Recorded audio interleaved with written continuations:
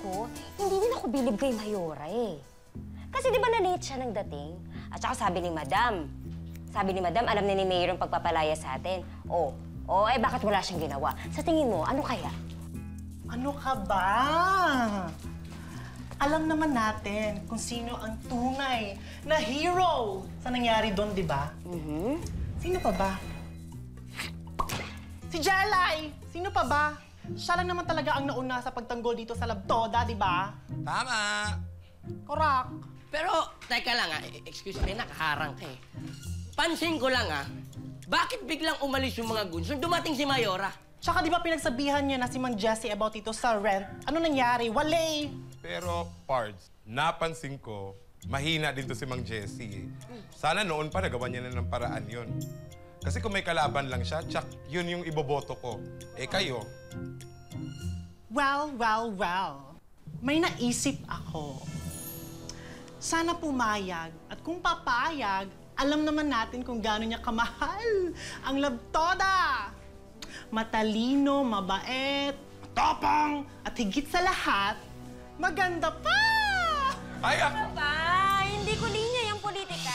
Huwag Madam, hindi ikaw. Saglit lang. Ano ka ba? Hoy! Yun yung sinasabi mo na yan. Ako! Kasi hindi siya, di ba? Hoy! Hindi ikaw.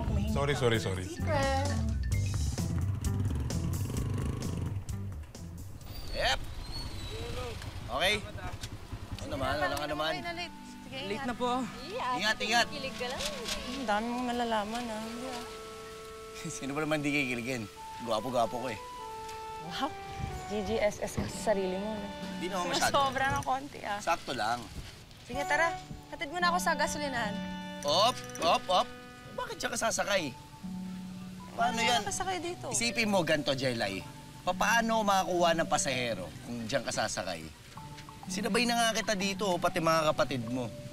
Dito ko na. O sige, para manahimik ka, dyan ako sasakay. Ayun. Hindi na pinakamaayos na naisip mo.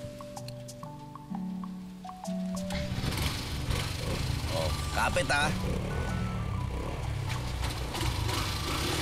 Hop! Uy! Hop!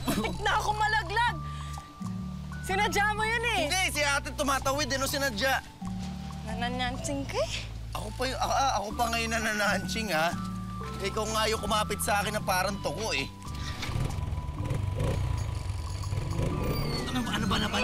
May, may ano, may lubak!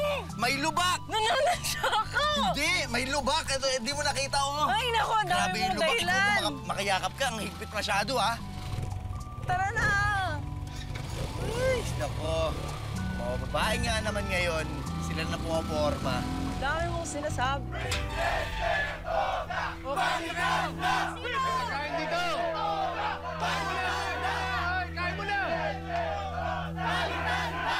Kain mo na kayo, Diyosa! Pagkain dito, halika, kain mo na. Ah, ano, kami ho? Ay, naku. Eh, di na ho! Mang Jessie! Naku, wag na ho! Ano, halika na! Di na ho, hindi din naman ho kayong ipinunta natin namin dito eh. Okay lang ho. Sige na. Presidente Labtoda! Balikan na! Presidente Labtoda! Oh, teka! Si Jelay! Jelay!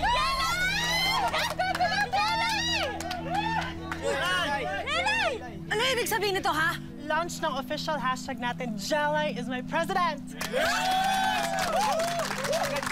Nandito kami para i-convince kang tumakbo bilang presidente ng Labtoda! Paano naman ako niyan? Sorry po, Mang Jessie ha. Pero sa tingin po naming lahat, kailangan na ng pagbabago sa Labtoda. Yes! O tapos, ako gagawa nun. Napapaliw na ba kayong lahat? Ano? Hindi! Hindi!